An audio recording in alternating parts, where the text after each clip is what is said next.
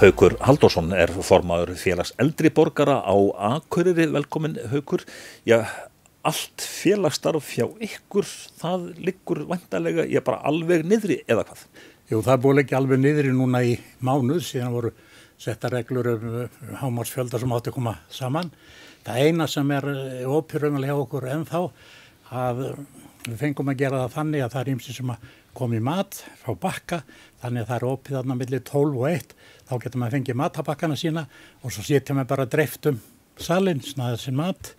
Það, og svo geta maður tekið hann upp til sína með vilja líka. En, en þetta er ju vilt mætt nokkuð vilja þetta. Það er bæði fólk sem býr þarna í húsinu í, í buðsíðu og örfóður sem búa utan En félag eldri borgar, þetta er nokkuð upplugt félag, það eru, það eru alls konar starfsemi sem að félagi stendur fyrir og öruglega margir þar sem að þetta var svona fasti punkturinn í tilvörunni, jável.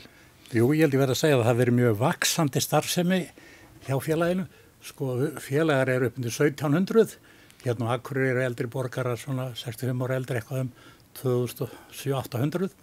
Félagi starfar í raunverulega mörgum hópum, við erum með ímsa hópi eins og fræðslunemnd og ferðanemnd, ekki bara cirka tíu hópar. Og svo er spilamennsk og bingo og ýmislegt. Þannig að við erum svona aðeins fylgst með hvað er mikið þáttaka og ég get sagt bara síðustu vikuna eða fyrstu vikuna í mars þá komum við rétt um 500 manns og í janúar er þetta 18-1900 sem koma. Þannig að, að salurinn, það má segja að þetta húsna er raunverulega fullnýtt. Og það voru ákvæmlega margir sem voru óressi með að þetta skildi lokast alveg og eitt vinnum minn sem er nú mjög duglur í spílamennskunni hann sagði við mig að það verði ekkit betra að drepast og leiðindum heldur nú þessari COVID-19. Þannig að þetta, þetta, þetta eru mikil viðbreyði fyrir marga að vera í bara einangraðir hreinlega heima. Það eru það verulega og við vöndum varfið að sko auðvitað nótfæra með að setja mísefleg og eftir áhamálum eins og við vitum vel að þeir sem búa einir þeir mæta þarna mjög mikið þó þessi ekki jafnvel í einhverju sérstaklega starf sem er komið til að lesa blöðin, hitta aðra og spjalla og fá sér kaffi þannig að við höfum kannski mestar ágjör að þeim sem hafa verið algjöru fasta gestir þarna og búa einir og, og sjá síðan ekki núna. Fólki er ja, ráðlegt að vera í samskiptum eh, þingjast á og ég þarf til ímis rafræn samskipti. Eh, hefur félagi til dæmis verið með einhverja svona, já, kennslu á spjald, tölfur og svona? Já, einmitt.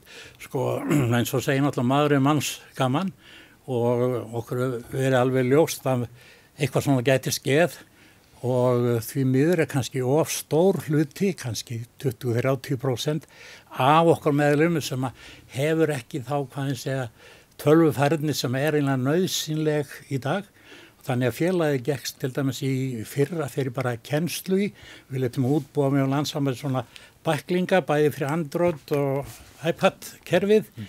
og höfum sett verið með nokkru kjenslu og meiningin var að halda þessu áfram eftir núna í, á þessu mánuðum en það er að sjálfsögða ekkert orðið að því. En þú sem ég formaður félagsins, þú hvetur vantarlega fólku til þess að ég taka nú upp síman og ringja?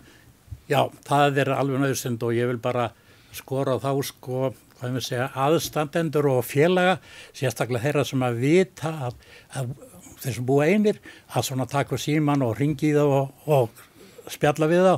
Á sama hátt er hægt að segja við þá svona sem að búa alveg einir að þeir geta líka að tekja síman og ringi til einhverja. Nú sé þetta erfitt þá geta ringt inn í Rauðakrossin og ýmislegt svona. Það hefur verið ákveð samkvæmlega til landsambansir og Rauðakrossin að geta ringt hangað og fengið upplýsingar. En það sem við um ágjur af sko nú er þetta búið einn mánu, eftir sem þetta dregst lengur þá verðum við varfið það. Við maður eins heilti fólki sem er að tala á það sem reynir.